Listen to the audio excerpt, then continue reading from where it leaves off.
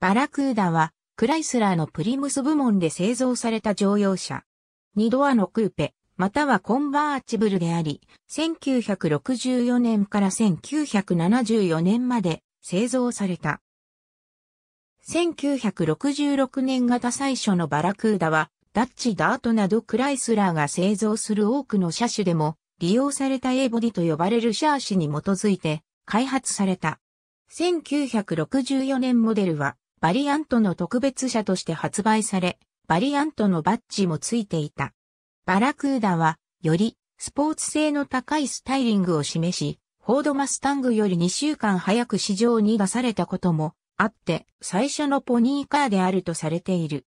プリムスの役員は当初、バラクーダをパンダと名付ける考えであったが、デザイナーたちの反対にあって、バラクーダとなった。第一世代のバラクーダは、当時としては、最大のリアウィンドウガラスで構成される大型のファストバックを特徴としていた。1965年モデルには273立方インチのコマンドエンジンと235馬力を発生する V8 エンジンがラインナップされ、同時にサスペンション、タイヤなどにも改良が加えられた。1966年モデルは、フロントライトとテールライトのデザインが一新され、前年のモデルからは明らかに違ったデザインを施された。バリアントよりは上質のイメージを打ち出し、途中からはバリアントのエンブレムが廃されて、バラクーダ独自のエンブレムが付けられた。この年のモデルは、より彫りの深い輪郭のフェンダーと、その上部のターンシグナルがサメのエラ型とされた。また大型バンパーとチーズおろし機のようなパターンのアグレッシブなスタイリングのグリルへと変更された。1967年型バラクーダ1967年バラクーダはまだ A ボディをベースとしていたが、ファストバックモデルに加えてノッチバックモデルとオプションでコンバージョンが追加された。3年間を通じて生産された第2世代の各年モデルの違いはサイドマーカーの形状であった。ポニーカーが定着し、競争が激化してくると、バラクーダのエンジンとしてバリアントよりも大型のロードランナー用のエンジンをオプションとして用意した。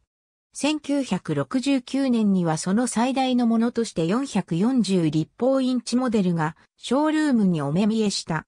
これらは限定生産モデルで、1968年にはヘミエンジンを積んだバラクーダがドラッグレースに登場した。1969年にはそのパフォーマンスにも限界が来ていた。この年、クーダと呼ばれる383エンジンを搭載し、外観を手直しした S オプションを発表した。1970年型クーダ1971年型ヘミクーダ・アルクーダのボディカラーに塗装された1972年型、クーダ1970年、バラクーダに新たなデザインが施され、ダッチチャレンジャーの兄弟車として登場した。ハイパフォーマンス仕様は、クーダとして売り出された。この年の新デザインは、過去のものとは一新された、異なるデザインであった。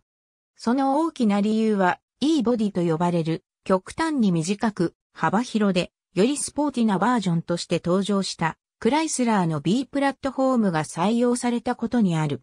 そのため、ファストバックは廃され、2ドアクーペとコンバーチブルが継続して売り出された。同社最大の V8 型440エンジンや426ヘミエンジンを搭載したモデルも用意した。これら大型のエンジンに加え、特別仕様のハイパフォーマンスなサスペンションが搭載された。これにより、スタンダードなバラクーダは平らなボンネット、ハイパフォーマンスなクーダはエアスクープ付きとなった。この年、姉妹車としてダッチチャレンジャーが登場した。より大きなエンジンスペースを持つ E ボディへの変更により426立方インチのヘミエンジンが新たに搭載され、新たなヘミクーダが登場した。1971年、グリルのデザインが変更され、ヘッドライトが丸め4灯となり、テールライトのデザインもわずかに変更された。1972年には再びグリルとテールライトのデザインが変更された。この時採用された丸2灯のヘッドライトと円形4灯のテールライトのデザインは生産終了1974年まで全体的な変更は行われなかった。しかし、他のポニーカーと同様、排気ガス規制のために、その排気量を大きく減少させた。